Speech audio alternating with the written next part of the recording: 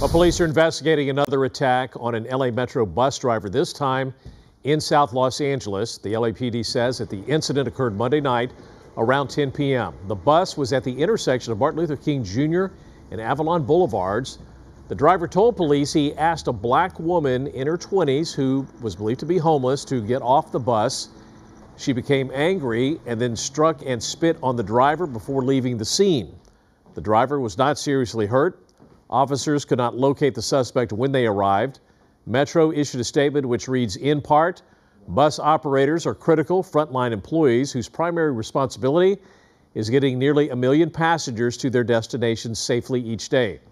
Passenger behavior that results in assault or impedes the safety of the operator is unacceptable.